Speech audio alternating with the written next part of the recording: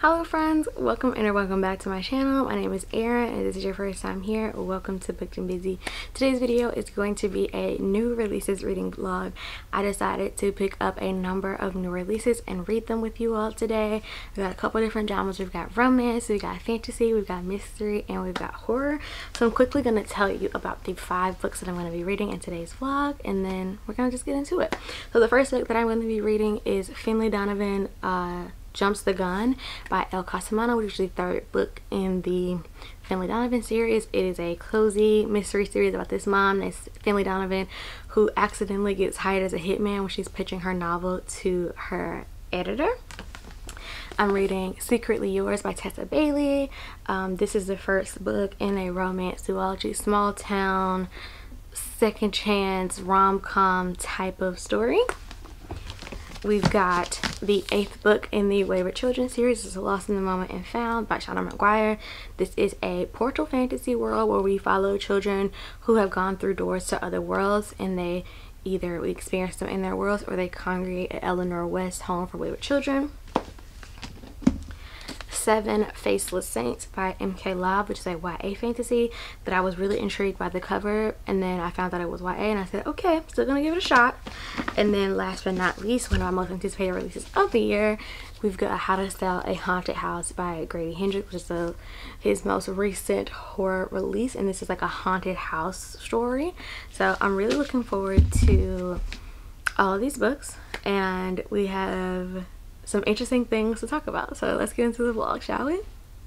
friends i have finished the first book for this vlog and i am halfway through the second so let's talk about the book that i finished first i just finished finlay donovan jumps the gun which is the third book in the finlay donovan series and this is in a lot of ways a return to form in finlay donovan's killing it um, because finlay donovan knocks him dead really didn't do much for me starting out right at the gate oh this is a lot more humorous than book two I found. Uh, I enjoyed this one. This one takes place in a more isolated setting and a more limited time frame. So in this one we follow Finlay and her sidekick slash nanny slash accountant Vero as they attend this political this police citizens academy for the for a week and um, they are trying to solve the mystery of who easy clean is and they are continuing to be roped into the assassin for hire working with the mob type of environment. Um, I enjoyed this one more than I enjoyed book one but I don't know that I excuse me more than I enjoyed book two but I don't think it's quite at the level of book one for me. Because there's only one more book in the series I think it's going to be a quartet and I do think the core mystery uh, is going to be wrapped up in this fourth book. I will read it and I will borrow it from the library the same that I did with this one. But ultimately I have a lot of issues and I think most of my issues I'm realizing in book two and book three come down to Vero. I think that the things that Vero does kind of are unrealistic for the the role that she has in their life um, and I think that Finlay gives Vero a lot of freedom and a lot of leeway and I think that that isn't always the best choice. Like the fact that Vero gambles away the money the fact that Vero has like a warrant out for her arrest and she didn't disclose that especially as someone who is caring for your children and is living in your home. Like even if it's for a misdemeanor type of thing even if it's like a thing that you didn't do I do think those are things that you should disclose. And I think that Vero herself has gotten Finlay in a lot of trouble. And at one point, Finlay points out, she's like, so you were willing to help me like hide a dead body or whatever and like participate in possible crimes with me, but you didn't feel like you could share with me that there was a warrant out for your arrest and like things like that. And it just, it, it gets to be a bit ridiculous at a point because uh, I, I, do I, am happy that Stephen um, uh, Finlay's ex-husband was not as much of a character in this book. And I also the same thing that I felt about the book too is I don't think there was enough of her writing the book. Like Finlay while she's doing all these things she's supposed to be an author and she does not spend a lot of time working on this book. And I know that she obviously has, you know, more pressing concerns given her dealing with the mob and, you know, people trying to kill her husband and all these other things. But I feel like some of the charm of book one was seeing how the real life things that were happening were influencing the book. And I feel like book one was the book where we got the most of her actual writing process and how her life was was uh, playing out on the page and I thought it was really interesting and at this point it feels like her actual her career as a novelist really is just on the back burner and is forgotten about quite a bit Um, so while I do think if you enjoy book one, you'll enjoy this one. I think it was much better than book two. Ultimately, I don't think the the magic is there for me anymore. So I don't think I'll be continuing to collect this series, but I will probably if it goes beyond book four, then I probably won't continue. But if book four is going to be the last one and the things are going to be wrapped up, then I will. Uh, I do appreciate the little bit of a plot twist there was at the end there, and I thought that was very intriguing.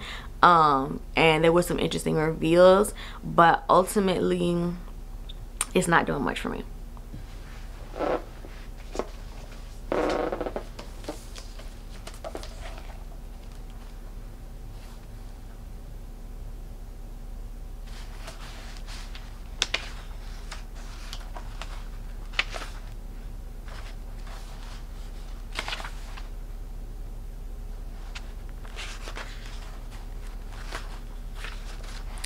The second book that I have started is Lost in the Moment and Found by Seanan McGuire. This is book eight in the Wayward Children series.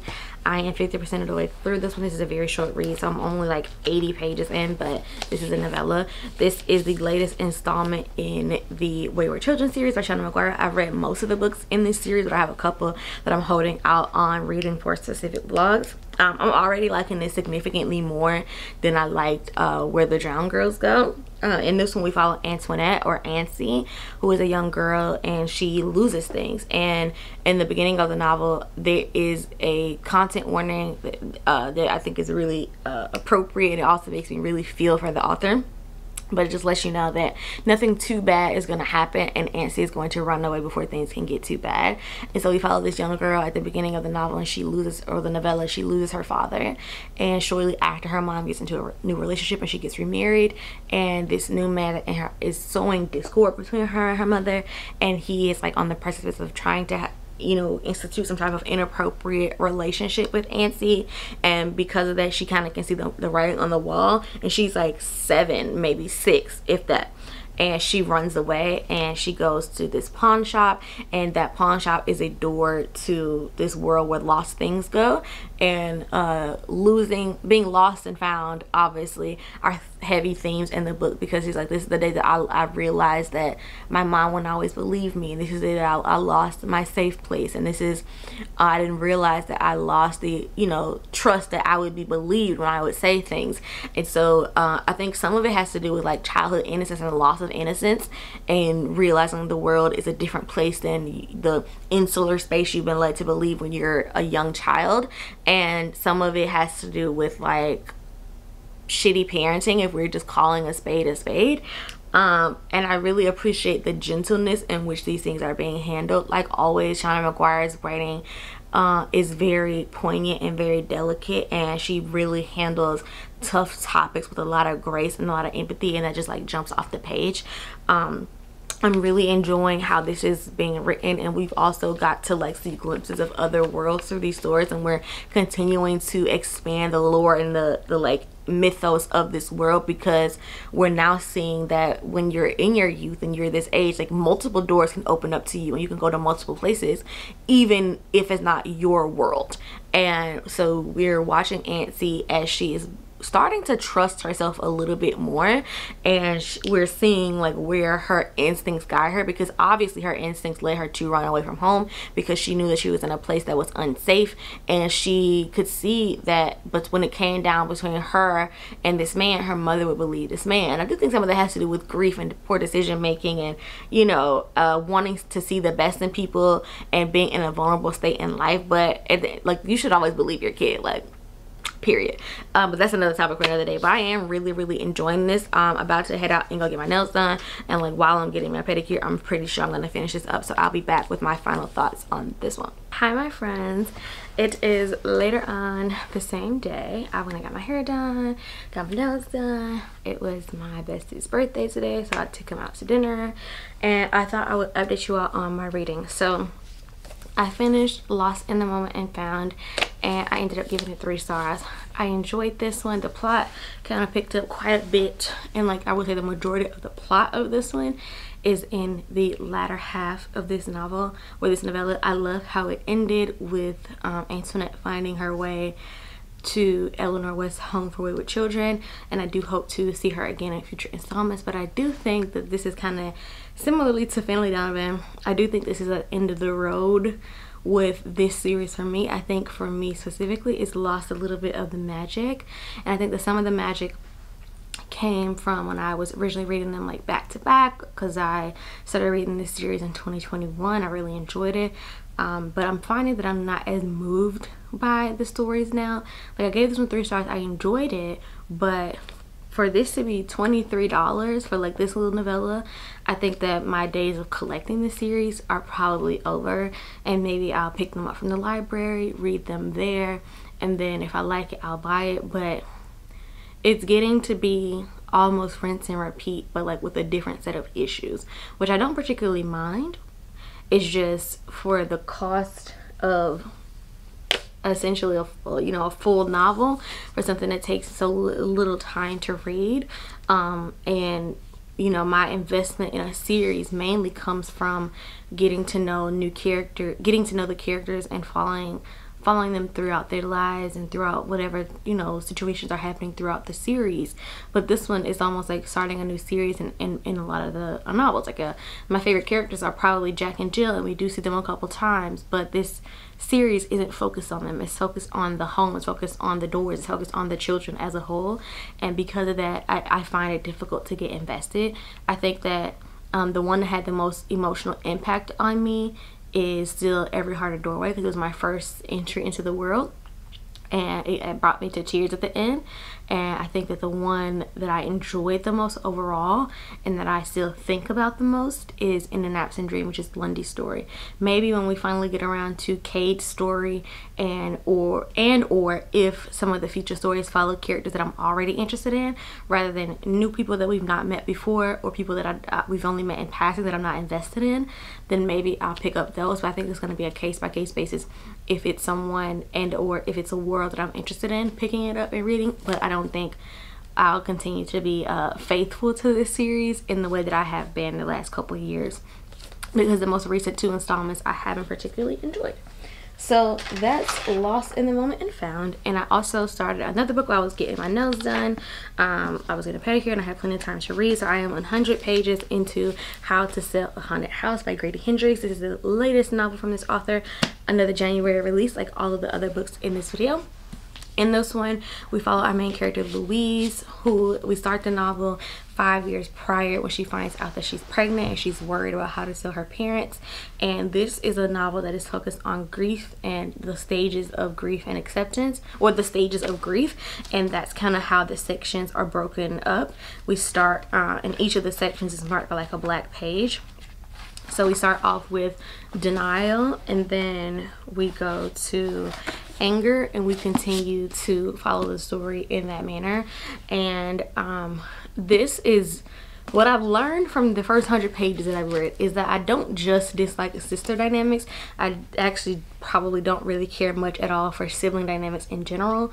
And I do have siblings, but I was raised as an only child, so maybe my apathy toward that type of relationship dynamic comes from my upbringing. I don't know, but I don't find the relationship dynamic to be particularly engaging or interesting to follow, nor do I find the exploration of that to be particularly interesting.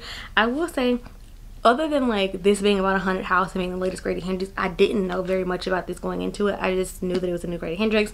I wanted to read it after having loved Southern Book Club's guide and it's supposed to come out in July of last year but um what it is about actually is we're finding out that this main character Louise this is not a spoiler it's in a synopsis that at the beginning of the novel her parents are both killed in a car crash. And the way that they die the order in which they die means that her circumstances are not what she assumed they would be upon the death of her parents. And uh we see her visit their home. Mom was a hoarder. She collected like dolls and and puppets and things like that. And she but she also was like a puppeteer. So that was part of the reason. And some suspicious things have happened. Like the tv is turning on seemingly on its own. Dolls have been moved um when se there seems to be no one home. And she attributes some of it to like faulty wiring or to her brother playing tricks on her something like that. But we as the reader can immediately see that there is something a little bit more sinister going on and we know that there there's some type of haunting also it's right there on the cover. There's something going on in the house. Um, I think that for me, my enjoyment of Grady Hendrix, this is my third Grady Hendrix. The first one I read was uh, the Final Girl Support Group, which I didn't like at all. Uh, I think I may have gave it two or three stars. And then I read Final Girl, I read the Southern Book Club's Guide, which I gave five stars. And now I'm reading this. And I think that my enjoyment also hinges on whether or not I like the main character that we're following. And also a trend, I was having this discussion with someone about Riley Sager, but of the three Grady Hendrix books that I've read, they all seem to follow middle-aged women and i think that's an interesting choice. I know that following women is a genre convention of mystery thriller but to my understanding this is a horror so i don't because i'm not as well versed in that genre i don't know if the genre conventions are the same in horror as they are in like mystery thrillers but it is something worth noting. Uh, i don't feel any particular way about louise. Um, louise is you know like 39 40 she has a five-year-old daughter and she has a less than relationship with her daughter's father but they co-parent just fine. But her relationship with her brother is very lacking and we see a lot of tension from them as they are trying to sort out their parents last will and testament their funeral arrangements and the house and the things to do with that. And we see a lot of tension in their relationship as a result of that I don't know where the story is going because the way the last little bit that I read would lead me to believe is that Louise is about to go back home to California and uh, this book is set in Charleston I think primarily. And I feel like the last book was also set in Charleston so maybe Grady Hendrix is from that area. And that's the area that he knows best because um he seems to set several of his novels in that area but overall this is fine. I'm not compelled to read it. I am going to continue reading it a for this vlog b because i loved southern book club so much. It was one of my favorite books of last year. I really want to love this one. Uh, i picked it up you know prior to release day. I got a signed copy. I'm invested. I want it. I want grady hendrix to be a favorite author of mine rather than like a one-hit wonder. I want it to be like someone i know at least one horror book is going to come out every year and I'm going to be invested in it and I'm going to have a good time. So I do still have two other books from him on my TBR, My Best Friend's Exorcism and Horrorstör so even if this one isn't a hit for me i will continue to read more from him so that is this update we've got one book down and making about a fourth of the way through the next one. So i will check in with you all when i have more thoughts maybe around the 50 percent mark maybe when things actually start to pick up and the horror elements like come to fruition in the story. But until then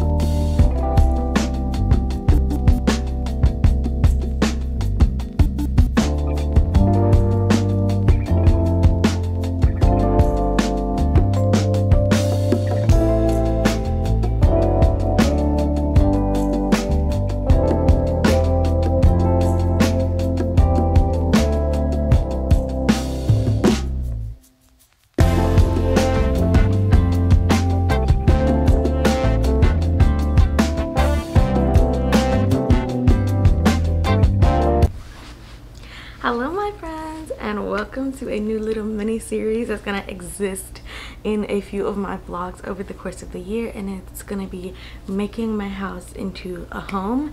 So every single year since I started college so for the last 10 years I've moved every year. And because of that I haven't taken the time or put a lot of money or energy into making my house a home.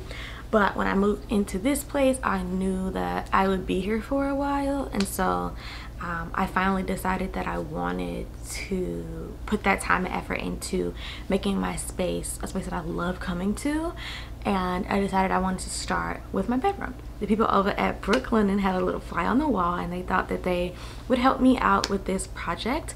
Uh, so they sent me these lovely sheets and this duvet cover that you would have seen in the bureau for me to um, have the like luxurious hotel sleeping experience from the comfort of my own home. When you get out into the world you realize that the most commonplace home things are extremely expensive and sheets and bedding are no exception. Um, high quality sheets and bedding can cost upwards of $500 and while Brooklinen is still expensive it cuts out the middleman and you get that hotel sleeping experience for less than half the price. They have these hardcore luxe bundles that you can get a fitted sheet a flat sheet um, pillowcases and all that for up to 200 and 250 dollars. And they have a lot of different color combinations where you can mix and match up to 20 different colors to get your perfect mix. As you see i have this like butter toffee shade uh, for my duvet cover and pillows. And then I kept it with a classic like hotel white. Uh, I love, love, love, love, love white bedding, but I wanted to step out of my comfort zone a little bit and get something a little bit jazzier uh, to go with my new bed. So I am going to show you some of the different options that you can choose from if you want to choose your own bedding when you're choosing a bundle you're gonna get a better deal putting those things together than getting them individually so you have two options to choose from the classic hardcore or the luxe hardcore went with the luxe hardcore bundle and i had quite a time trying to figure out what combination i wanted to do if i wanted to do one single color or if i wanted to mix and match. I did end up mixing and matching because i was like let's step outside the box a little bit. But as you build your bundle you can choose different colors and combinations for the different elements of your sheet. So obviously I have a queen size bed and they even have some limited edition things that are different now than when I was ordering probably because we're tiptoeing in the spring um, but I was gonna start with the all white then they have a graphite a cream this window pane and then a like striped option and my previous bedding was a striped option so I really considered those but then you can mix it up with this sage color I actually really like this like abstract uh, design. I think that would go really well with the toffee. But me being a classic gal, I of course went with the solid white. And then you have more options when you go to choose from your duvet. And this is one of the great things is that you can customize your bedding uh, as many different ways as you like because depending on when you go on the website, you have a lot of different options to choose from. So continuing on with that limited edition set, if you wanted this the sage the abstract the basil the warm gray you can go with that. I think i would mix it up if i were to be purchasing something right now and i would probably go with the um, abstract color. I think it's really neat um, and gonna continue on with that solid white but there are so many different combinations that you can make depending on you know what you like of course. So I still have a full queen size bed gonna put with the abstract like that and then you have that same option with pillowcases. So when you buy standard sheets everything is the exact same. You have the same pillowcases um, uh, fitted sheet flat sheet all that is going to be the same. But one of the benefits of brooklinen is that you can customize your bundle to your heart's desire. You can choose what size pillows you want and you can continue to select what what colors that are available that match your sheets or differ from that if you want to mix it up. So because i got the abstract i'm gonna i'm a you know pretty simple gal. I'm gonna go with standard size solid white and the abstract which is what i had previously and then you see your three different options. So you have three different opportunities to customize with the sheet set the duvet cover and the pillowcases and then you're all set. Um, and I mentioned in my previous vlog I wanted to focus a lot more on self-care this year and I work really hard. I work quite a lot. I'm up at 5 in the mornings and I have 10 hour work days. And so the way that I set myself myself up for success in my workday is having a great night's sleep. So that includes going to bed on time but also having a bed and sheets that create a luxurious sleeping experience. I spent the last couple of nights on my brooklinen sheets and i swear to you the sleep that i've been getting is unmatched. Um, the quality of the materials is so silky and so lush uh, and I love like slipping into my pajamas after I freshly showered and sliding in between the sheets. It's uh, been re a really great experience and I think that you too deserve this quality sleeping experience. If you don't believe me, check out the Brooklinen website and read the more than 100,000 five-star reviews for yourself and you can see that everyone that invests in Brooklinen feels like they're getting a massive return on their investment. If you look at like the time, like a third of your day is spent sleeping and you deserve for your sleeping experience to be top notch. So make sure you check out the link in my description. Friends, if you're interested in checking out Brooklinen for yourself, use my code BookedAndBusy to get $20 off your order of $100 or more. And I want to thank them so much for sponsoring this portion of today's video. Since we last spoke, I have completed another novel, and that is Secretly Yours by Tessa Bailey. This is the first book in like a new sisters or a new duology from this author and prior to reading this Tessa Bailey has been an auto by author for me I read uh, It Happened One Summer in 2021 absolutely loved it and then and I, at the end of that year she put out an indie which was window shopping. Love that one as well. And then we get to her 2022 releases and ID and that's hook line and sinker which was the second book in the Bellinger Sisters series. And then she put out um like a mystery novel which I liked. And then she came out with Happenstance which I thought was fine but I wasn't compelled enough to finish it. And so this is kind of the make it or break it book. And sadly we didn't make it we broke it. Um I gave this book two stars. Didn't love it. Um, and I, I asked myself, prior to me reading It Happened One Summer, I wasn't very aware of Tessa Bailey's releases. So I can't say if this is a new thing for her or if this has always been the case. But she's putting out these novels back to back. Like the second book in this series, I want to say comes out in either April or June. So that's like four to six months between and then she just had a release like three months ago with happenstance. And i wonder if the if it's a quantity over quality thing because this romance was very lacking to me. Uh, it was very lackluster. Um, it's kind of pitched as grumpy. It's it's pitched as grumpy sunshine but julian honestly isn't that grumpy. He has like ocd and he has compulsions and he uh, has gone through some trauma. And so as a result he's tried to like have a like a regimen that keeps him calm. And both of these people in this book really just deal with a lot of anxiety. And i've said this about characters before but i think that a therapist would be more helpful to them as a as a unit than love would be.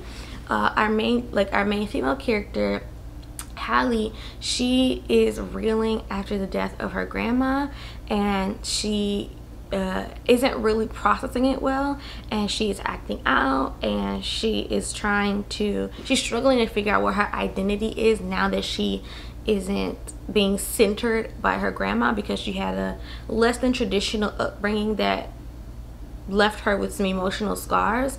And so she's trying to figure out who she wants to be. And she's like rebelling in that. But she's like third. So it's not the way you would think when it's like oh it's a teenage rebellion. But this just i didn't find that julian and hallie had any chemistry.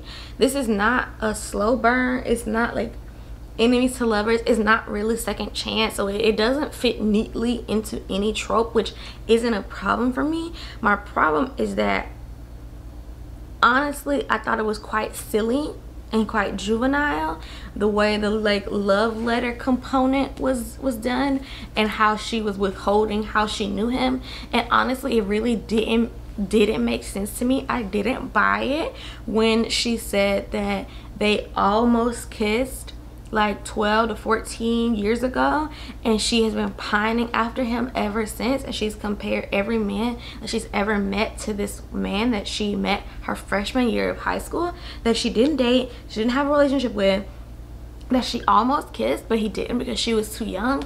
And i just i find that really difficult to believe and i also struggle to believe that she would hold a grudge on him for not remembering a woman who he almost kissed 14 years ago. Like there's that's not a significant occurrence maybe it was significant to her because obviously she crushed on him for 14 years but to be angry and hold it against him and then to start writing love letters and when i tell you the love letters i'm using that term very generously very loosely because it was like a self-help guide almost and it it was just it was very juvenile. It, it just didn't do anything for me to be quite honest.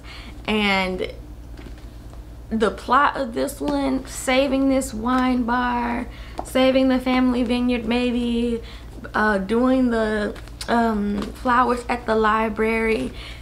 I finished this book for the sole sake of deciding if it see if it got better a and b to see if i will be reading future tessa bailey books from the library. And i do think i will be getting future tessa bailey books from the library because this just lacked the spark and it lacked the execution and it wasn't really that funny. Uh, i wasn't a fan of the side characters. Like there's nothing about this book truly that worked for me and i hate that because just because of how much i loved it happened one summer. And i'm like maybe it happened one summer was a fluke because the majority of the other tests I've not loved any other Tessa Bailey that I've read as much as that one. And I've been trying to recapture that magic ever since then. And sadly I have not been able to so ultimately this is a two-star read. This will be getting unhauled. Um not a fan. So yeah. Hello my friends. I just got home from running some errands and picking up uh, another new release to add to the video. Um, and i came home to a package and i haven't ordered anything so i thought i would unbox it with y'all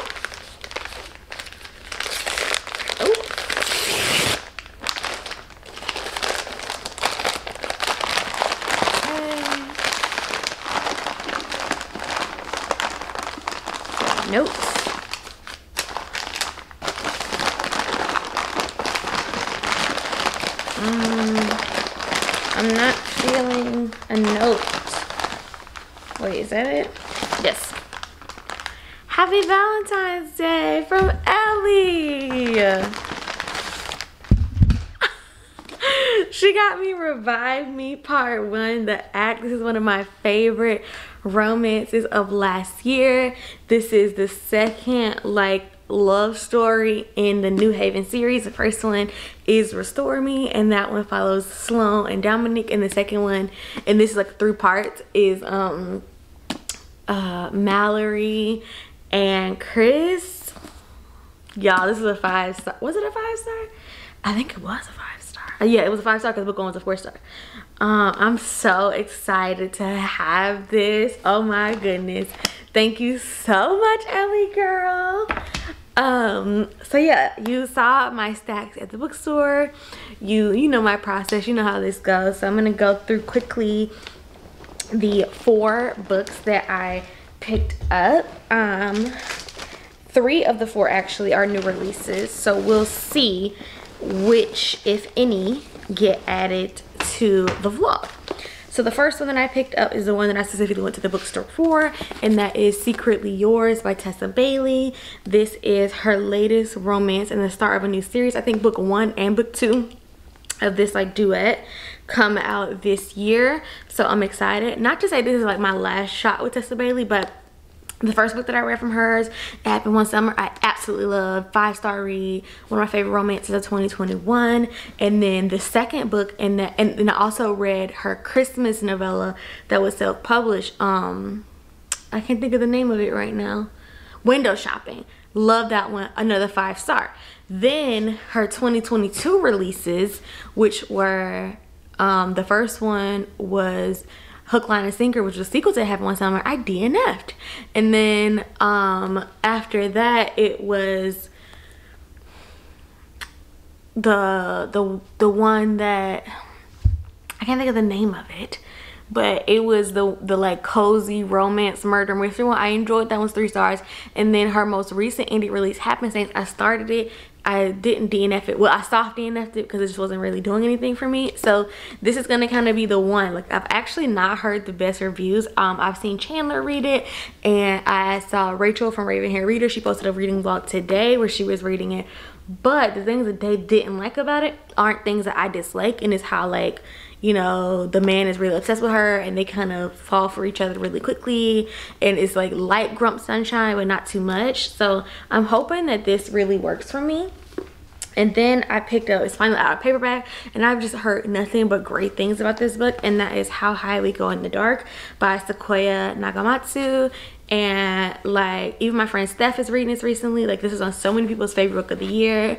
Uh, and I've just heard nothing but great things there. It's a, it's a series of interconnected short stories about this like pandemic and not the end of the world but seemingly the end of the world and it's futuristic in nature. It starts out in 2030 and it deals heavily with like themes of grief. And as someone who has recently lived through a pandemic I am intrigued by fictional takes on the collapse of humanity. And I know this one has to do with like melting permafrost and something you know coming out of that. And I know that is also a thing that really could be in our near future as the polar ice caps melt as global warming continues things like that. So eco-fiction um, is a like subgenre of fiction that I am finding more intriguing that I want to read more of. So like this has several elements that I'm really intrigued by this next book was a book that I had on my radar. It was anticipated release, but I didn't know that it was YA. And so that is Seven Faceless Saints by MK Lobb. But look at that cover. It is absolutely stunning. Um, so I may, who knows, I may read this in this vlog as well. So this one, um, religious themes, saints, all of that, like really following saints, angels, gods, that as a theme in fiction really does a lot for me. Uh, so this one, it says, the saints were merciful. All the stories said so, but the stories also said they crave blood. In the city of Ombrazia, saints and their disciples rule with terrifying and unjust power, playing favorites while the unfavored struggle to survive. After her father's murder at the hands of the Ombrazian military, Rossana Lacertosa is willing to do whatever it takes to dismantle the corrupt system, tapping into her powers as a disciple of patience, joining the rebellion, and facing the boy who broke her heart. As the youngest captain in the history of Palazzo Security, Damian Venturi is expected to be ruthless and strong and to serve the Saints with unquestioning devotion. But three years spent fighting in the never-ending Second War of Saints have left him with deeper scars than he wants to admit, and a fear of confronting the girl he left behind. Now, a murderer stalks Ombrazia's citizens. As the body count climbs, the palazzo is all too happy to look the other way. That is, until a disciple becomes the newest victim. With every lead turning into a dead end, Damian and Roz must dive into the underbelly of Ombrazia, where the pair will discover something more sinister and far less holy. I'm intrigued. And it, it claims to be perfect for anyone who loves morally great characters and fantasy tinged with horror. So really, really intrigued by this. And who knows, maybe you'll get my thoughts on this in this vlog. And then last but certainly not least, another new release and that is The Spite House by Johnny Compton. This is actually by a black author and I didn't know that. So um, just when I saw it, I wasn't really intrigued by it, but then I found out it was by a black author. So then I was immediately more intrigued because there aren't nearly enough black authors writing or like writing horror fiction that gets really popular in my opinion. Um, so this is also the literally their book club pick for March. And I had the opportunity to pick this one, but because I didn't know it was by a black author, I didn't pick it had I known, I would have picked it. Um, but either way, I'm excited to read this one. Uh, and I'm going to read you a synopsis of this one because I think you might be a little bit more unfamiliar with this one as well. It says, Eric Ross is on the run from a mysterious past with his two daughters in tow. When he comes across a strange ad for the Masson House in Degener, Texas, Eric thinks they may have finally caught a lucky break. The most haunted place in Texas needs a caretaker. All they need to do is stay in the house and keep a detailed record of everything that happens there. Provided the house's horrors don't drive them all mad like the caretakers before them. The job calls to Eric not just because there's a huge potential payout, but because he needs access to the secrets of the Spite House. If it is indeed haunted, maybe it will help him understand the uncanny power that clings to his family, driving them from town to town, too afraid to stop running. And it's a gothic thriller, which really intrigues me, about grief and death and the depths of a father's love excited. Um, I really enjoy exploring things of motherhood and so I feel like I could enjoy stories, a story that focuses on fatherhood. And I, in the last year or so, I've uh, realized that I really enjoy themes of grief in novels. So I'm excited to see what's up with this one. So here we have my little, oh, also happy Valentine's Day, lovers. Um, your girl is Valentine less, but I did have a lovely dinner last night. Um, got dressed up, went out, had a great time, had a lovely dinner, so it's fine. Uh, hopefully, you know, next year I'll be booed up and we can celebrate. But here is the book haul. Friends, I have been putting off filming this update because I feel so many things and the primary feeling that I have right now is just disgust and you know disbelief let's say. Uh, as of right now I am 70% into how to sell a haunted house uh, about 300 pages. I should be finishing this today. And when you hear someone say a horror book is disgusting you might think oh that's really good. But it's it's not that it's not really good. I anticipate not only this being a one star read, but also this being on my worst, if not the worst book I read this year. Um, this synopsis is very misleading. Um, and I think that while it's not wrong, it leads you to believe different things about the nature of the haunted house than actually come to pass in the story. Um, this, the horror in here is very cartoonish. I think this would fit very well with Courage the Cowardly Dog and the other 9 p.m. and after shows on the Cartoon Network. Um, it's so unbelievable. Like there is not enough space to suspend my disbelief to take this book seriously. And I do know that Grady Hendrix writes comedic horror.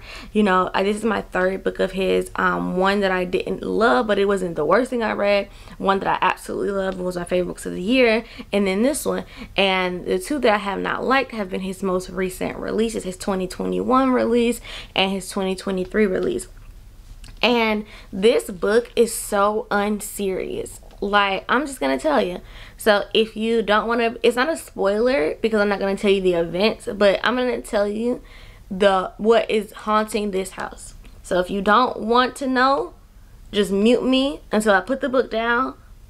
Okay? This house is being haunted by a puppet. A little arm puppet with his nubbins, his little nubby hands and feet, and his little plastic head. And I know, you know, there have been doll horror like Annabelle and Chucky and things like that. Um, but just to, you know, you know, read you some of the things that this puppet says I took some screenshots on my phone because I'm you know reading this on my Kindle. And I just feel compelled to share them with you.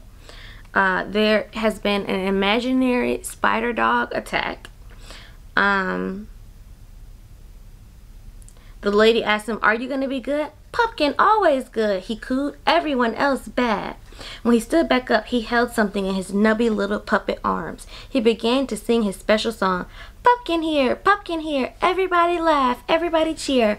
No more bath time, no more rules, no more teachers, no more schools. It's time to sing and dance all day. Pumpkin's here to play and play and play and play.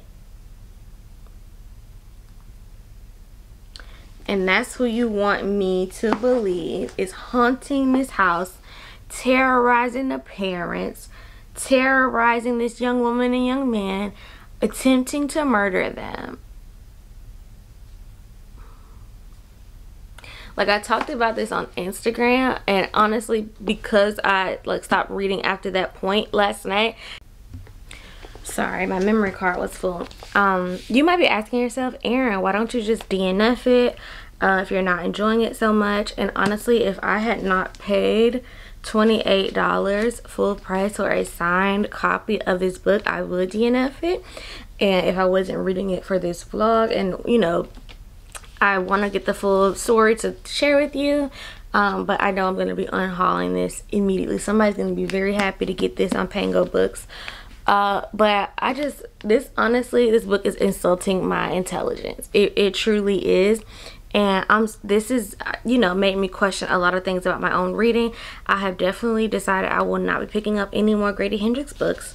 Uh, I do have Horrorstör and My Best Friend's Exorcism on my TBR I still will read those eventually because I already own them and who knows maybe his older stuff will work for me and it's his the direction his recent releases are taking that isn't for me.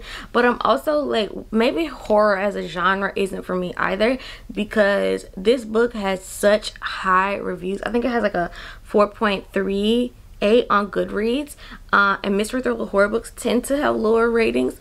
Um, and every review is four and five stars. No, no nothing but great things I see about on Instagram and on Twitter and I'm just like if this is what the the peak and pinnacle of the horror genre is maybe i don't need to be reading it because this is outside of my wheelhouse my typical wheelhouse and maybe i need to you know stay in my lane. So uh, i do have some horror books on my tbr but i think going forward i don't think i'll be picking up any horror books either. So this book has not only put me off this author but has really put me off this genre. Uh, so don't expect to see much more horror going forward on my channel. I mean, obviously I'm going to read things that I own, but I won't be adding any new things to my collection because this is so bad. So I'm going to come back to you later on today when I have my final thoughts and to give you my full review for How to Sell a Haunted House. But until then.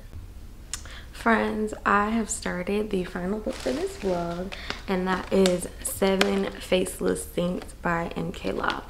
Uh, I had this book on my radar for a little bit, uh, mainly because I saw the cover and the title and I was really intrigued by it. And while I was surprised to find out that it was a YA novel, I decided to still give it a go.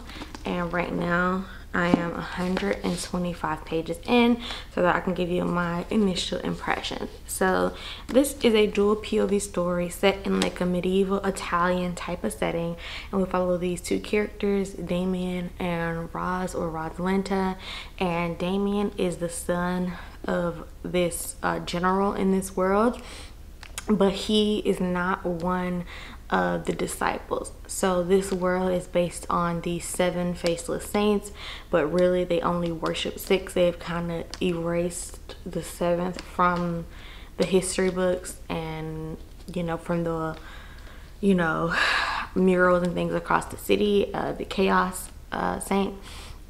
And people who are born with some of the magic and the power of one of these saints are called disciples and the people that don't have this are called um, unfavored. So damian is an unfavored his father is a disciple so as an unfavored you are likely to be drafted into the war so um, this is the second war of the saints or something like that and it has been going on for 20 years and the unfavored pepper the front lines the disciples are never chosen to go to war because they are the backbone of the economy because they have affinities to metals and to various things and they create things that are the primary export of this nation. So um, three years prior to the start of the novel damian and roz were both unfavored and they were childhood friends and then he was sent off to war her both of their fathers were in the in the war but while Damian's father rose up in the ranks to become the general uh, Roz's father was a deserter and then when he was caught he was beheaded and his head was sent to uh, Roz and her mom's doorstep. And in that, also in that time, Roz is a late bloomer and she finds out that she has uh, powers from the patience disciple. And she is very, what's the word I'm looking for? She is she doesn't really believe in her own religion and she doesn't think that it is fair that she has power and other people don't she doesn't think it's fair that um you know because she has these powers that she couldn't she didn't choose that she lives a life and that is you know exempt from these hardships that the other people face and things like that. I'm not gonna lie um, her little monologue and sh she's a bit whiny and it, it very much you know gave me the ick a bit because her logic and her her logic and her you know motivations are very childish uh, and they're both 20 um, so you know uh, but what is going on in this world is that three murders have happened two prior to the start of the novel and then one in like the prologue first chapter and one is of a disciple and so that's the one they decide to investigate but the two prior were unfavored and no one really uh, put any effort into that. Roz is not a spoiler also works with like the rebel faction who are trying to antagonize the disciples and the palazzo which are like the security people who protect the disciples and they're trying i don't know what their exact aims are but they hope for you know equality and things like that for the unfavored and for them to have better living and working conditions. I want to read y'all this little quote from roz that really like gave me the ick. Um She says the problem was Roz was good at the job. If she wanted to, she could create impeccable items. Somehow she knew that she barely tapped into her potential. The part of her that was descended from patience longed to do more, so much more, but the rest of her refused to give in to the euphoria her fellow disciples clearly felt when they used their magic. It wasn't fair that she had a comfortable life simply by virtue of being born into it. It wasn't fair that she got paid for doing a piss poor job of whatever the simple demanded, not while Dev and the Sims family struggled to stay afloat.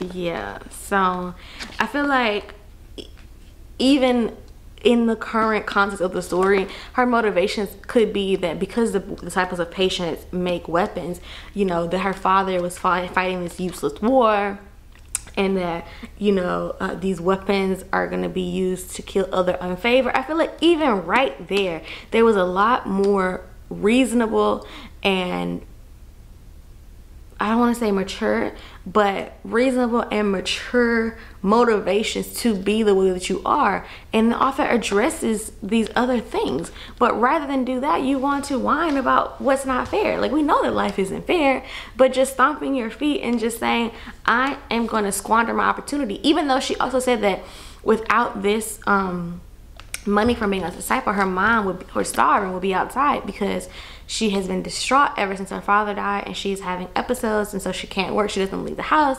And it's like even though all that is true you're not putting any effort into it knowing that this is the only thing that's keeping y'all out of the lion's den because your mom is also unfavored. And so it's just and this is kind of the root of my issue with YA books uh, but I'm, I'm, still giving it a shot. Um, also uh, so they have teamed up, and when I say they've teamed up, Roz has kind of blackmailed Damian into helping, allowing him to, forcing him to allow her to help him solve these murders. Um, she because she wants to know what happened to the unfavor and she wants to pump him for information for the rebel cause and he because he actually does care about what has happened to these people and he's investigating the deaths of the unfavored even though he's been directed not to and he feels a lot of pressure and he has like the threat of going back to the front lines over his head because he's been told that if he doesn't solve the murders quickly or the murder the one that they care about quickly he will be back on the front lines. So those are my initial thoughts. I'm about a third of the way through but not quite. So yeah i am gonna try and sit down and finish this today.